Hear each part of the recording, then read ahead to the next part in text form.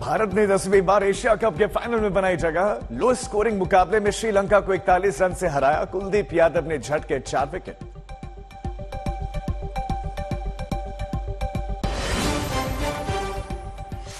सनातन वाले बैन पर उदय निधि के खिलाफ मुंबई में एफआईआर, नड्डा ने नड्डा ने बयान को सोनिया की रणनीति का हिस्सा बताया। कांग्रेस बोली, उत्तर दक्षिण में बांट रही है बीजेपी।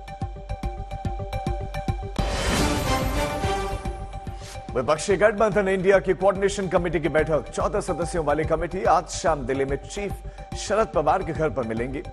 चुनावी मुद्दों पर मंथन।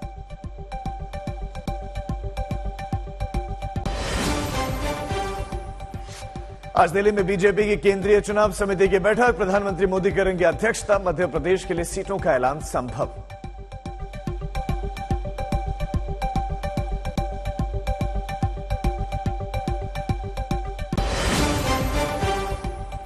और एप्पल ने अपने वॉन्डरलर्स इवेंट में आईफोन 15 सीरीज़ और एप्पल वॉच सीरीज़ 9 लॉन्च की। पहली बार चार्जिंग के लिए टाइप सी पोर्ट आईफोन 15 में 48 मेगापिक्सल का मेन कैमरा